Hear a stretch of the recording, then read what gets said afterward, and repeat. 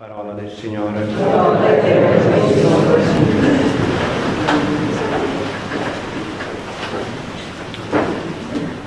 Il primo brano della messa è tolto dal libro dei giudici.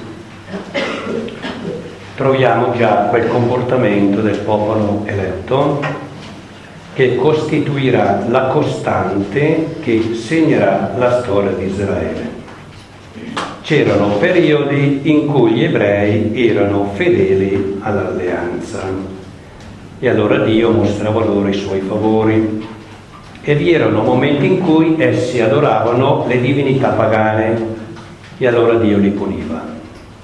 Li puniva per farli rientrare nella fedeltà all'alleanza. Una punizione pedagogica in vista di una redenzione di un ravvedimento, di una conversione, mai una punizione vendicativa. Come mai questa alternanza di fedeltà e di tradimenti? La Bibbia ne spiega anche la causa, il benessere materiale.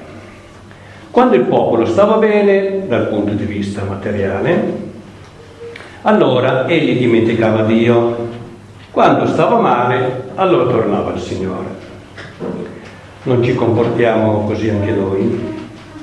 Si dice che durante le guerre le chiese si riempiono, ma appena appare il boom economico cominciano a svuotarsi. Prendiamo Dio quando ci fa comodo. Quando le cose vanno a gonfie vere, allora facciamo meno della religione. Non è così. A un certo punto Dio suscita i giudici per liberare il suo popolo dai nemici esterni. Chi erano questi giudici? Erano condottieri carismatici, il cui ruolo però si limitava abitualmente al periodo di emergenza. Finita l'emergenza, tornavano alla vita normale. Che strano, che bello. Strano perché difficilmente troviamo un condottiero che salva un popolo e poi torna a zappare la terra. C'è stato qualcuno di simile, ma caso raro, anche durante l'impero romano. Se anche i nostri parlamentari imparassero questa lezione di servizio occasionale o d'emergenza, l'abitudine tipicamente italiana è di tutt'altro genere. Prendi una carica e non la molli più, e anche quando sei costretto per età o per altri motivi a lasciarla, il potere rimane attaccato alla persona fino alla sua morte. Finito l'incarico, non sarebbe bello che si tornasse al punto di partenza senza compensi, senza titoli, senza carriera, perfino senza amicizie che contano. Ciò che mi ha sempre colpito di questi giudici era il loro carisma, che normalmente rimaneva nascosto, ma che nei casi di emergenza usciva allo scoperto e veniva messo a disposizione della comunità o del bene comune. Credo che ognuno di noi abbia dentro, nascosta, un'energia quasi repressa, oppure del tutto sconosciuta, sconosciuta a noi stessi Basta un'emergenza e si scoprono energie vitali impensabili. È quanto succede ad esempio durante le emergenze cosiddette naturali, terremoti, frane, eccetera. E allora che si vede il popolo italiano migliore. È vero che siamo sempre in emergenza, per cui dovremmo ogni giorno saper disseppellire il meglio che c'è in noi ed è vero che basta poco, un po' di falso benessere, per chiudere questo meglio nella tomba dell'egoismo. Nel secondo brano della Messa troviamo una commovente autodifesa di San Paolo. Dobbiamo ricordare che l'Apostolo non si limitava a confortare i cristiani già formati, ma andava ad annunciare il Vangelo nelle città più pagane e le città ancora più refrattarie, più chiuse alla buona novella, erano quelle dove si mescolavano tutte le correnti religiose e filosofiche del tempo. Là dove ci sono i miscugli è difficile annunciare la verità radicale. Era già la moda di allora fare delle varie religioni una specie di cocktail, una moda sempre attuale.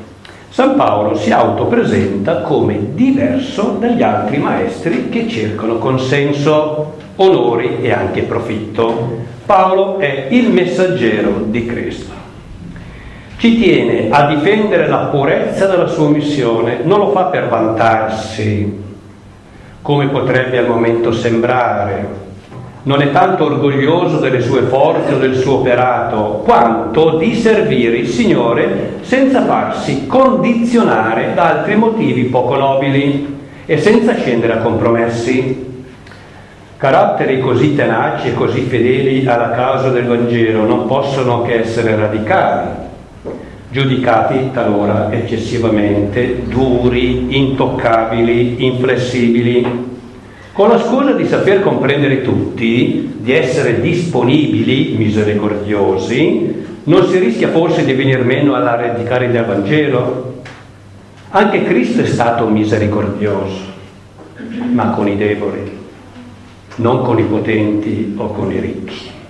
Certo era amico anche dei ricchi, pensate a Zaccheo, e anche dei capi, pensate a Nicodemo. Ma questo è il bello. Il suo intento perché andava a mangiare certe volte da loro? Non è andato a mangiare per farsi comprare o per portare a casa chissà che cosa. Il suo intento era quello di convertirli. Si, qualcuno si dimentica eh, di questo. Beh, ma il Signore andava a mangiare con i sciuri, certo, andava per convertirli. Non mi pare che la Chiesa abbia capito questa lezione, anche oggi va nelle case dei ricchi per ricevere favori o per scambiarsi privilegi senza guardare troppo per il sottile, ingoiando anche rospi velenosi. E così la Chiesa crede di servire meglio il regno di Dio, meglio, ovvero ingigantendo la propria struttura, dimenticando che più la struttura si ingrossa, più lo Spirito Santo emigra altrove. San Paolo nel brano di oggi rivendica la sua purezza di intenti, rivendica il proprio attaccamento al Vangelo senza condizionamenti, senza cercare il piacere degli uomini, ma unicamente servendo il Signore. Non si è approfittato della sua missione per cercare la propria gloria, per fare carriera, per ricevere favori dal potere e neppure per cercare il consenso tra la gente. Annunciava la parola di Dio senza volerla mediare per evitare di urtare la suscettibilità della comunità cristiana o per fare proseliti tra i pagani. Se imparassimo questa cosa. Eh? Certo in tutto, anche nella politica, la politica del consenso, no? Ecco, quando andremo a votare tutti prometteranno per ricevere il consenso della gente, no? E così certe volte poi il nostro difetto di preti cercare di accontentare tutti per ricevere il consenso come sei bravo. Questa radicalità evangelica non ha reso duro o insensibile il cuore dell'Apostolo. Siamo stati, lo dice lui, lo scrive, amorevoli in mezzo a voi come una madre che ha cura dei propri figli. E alla fine del brano cita anche il padre, meno male, no? Cioè madre padre tutti e due insieme, eh? perché certe volte diciamo che tocca sempre alla madre educare i figli.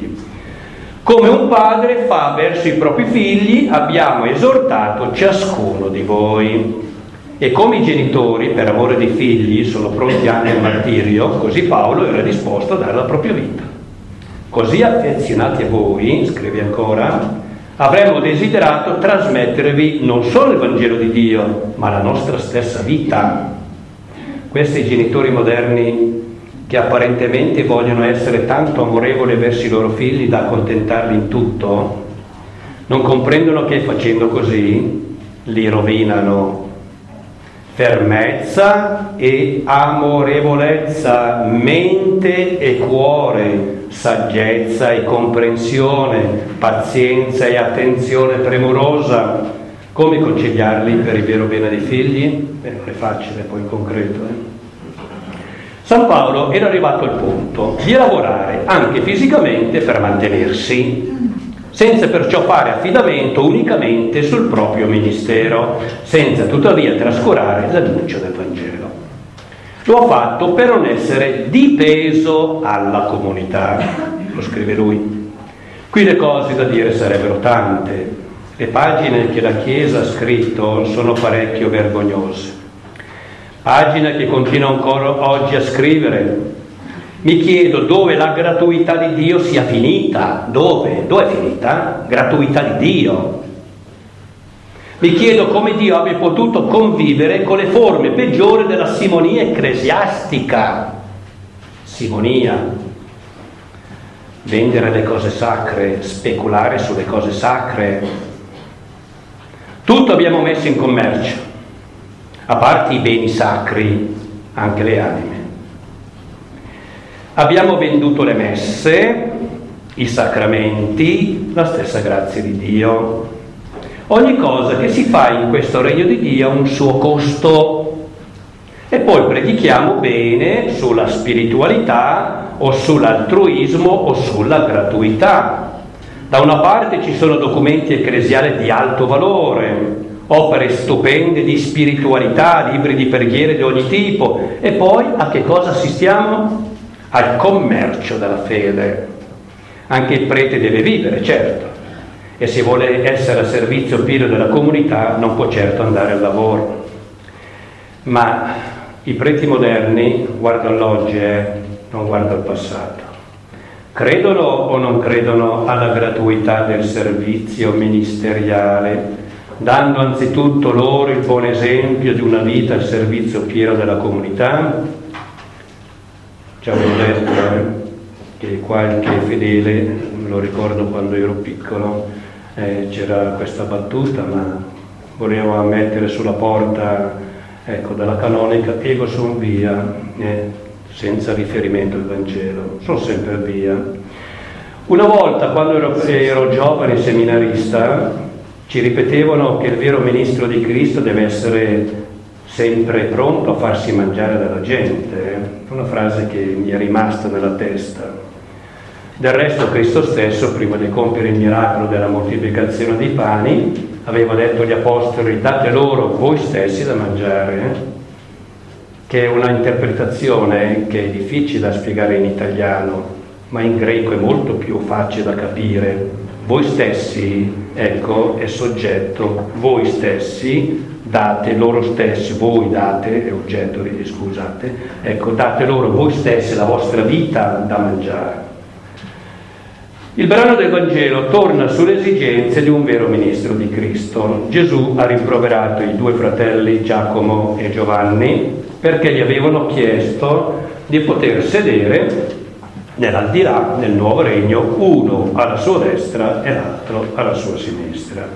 Questi discepoli che cosa avevano capito dell'insegnamento del Maestro? Certe volte io quando leggo il Vangelo mi chiedo, ma insomma, vabbè, non era il primo giorno, no? che avevano conosciuto Gesù, dopo magari un anno, due anni, poi facevano ancora di quelle domande e io mi consolo, eh. Magari dico, beh, dopo tanti anni, e vuol dire, ma la gente capisce, no, eh, beh, ma che gli apostoli non hanno capito niente di Gesù, no? E allora mi consolo.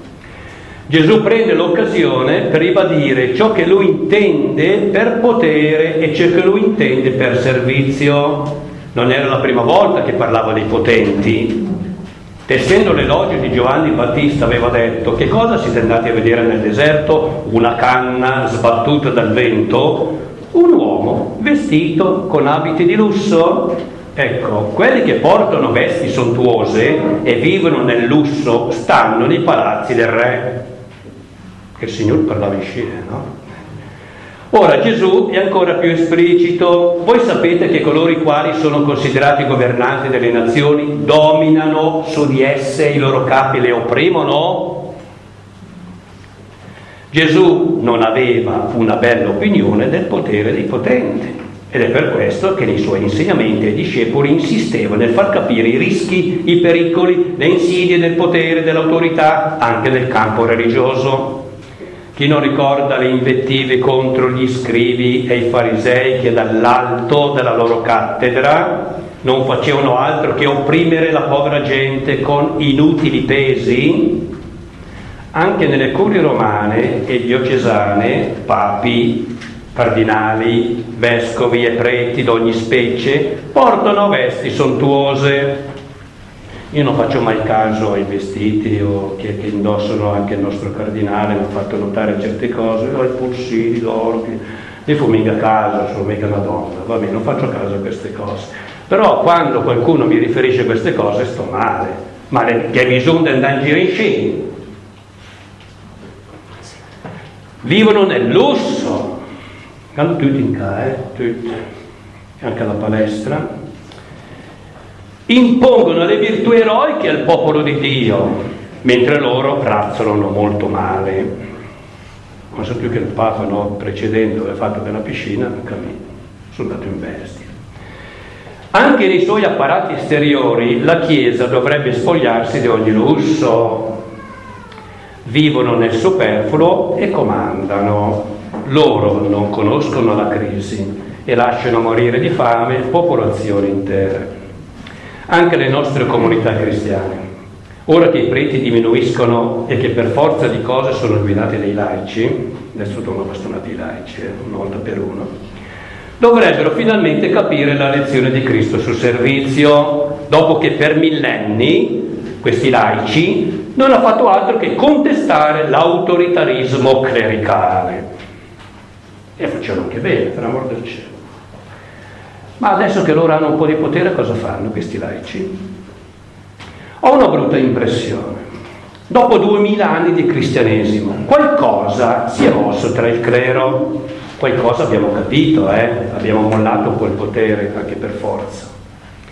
Il clero, cioè, sta capendo che non ce la fa più a tenere a bada il gregge con il bastone ma questo poco che si è guadagnato delegando ai laici delle responsabilità lo si sta perdendo con la rivincita dei laici che si stanno prendendo il potere, talora nelle sue forme peggiori, quelle forme che da tempo il clero ha abbandonato.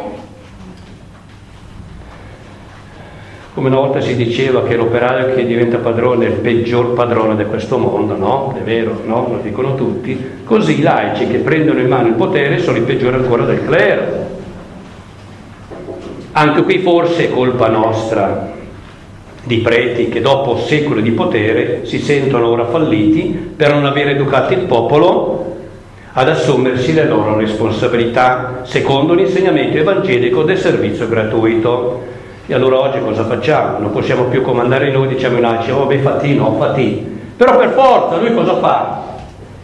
Non è stato educato a servizio. Ripeto, il clero per forza di cose ha mollato il potere, ma questo potere finito nelle mani di un laicato, ne parlo in genere, è chiaro, che sta rifacendo gli stessi errori del clero autoritario. Due parole potrebbero salvare la Chiesa e io penso anche il mondo intero. Servizio e bene comune. Se noi imparassimo cosa significano queste due parole, servire e il bene comune, servire il bene comune nel contesto della gratuità, ma come siamo lontani.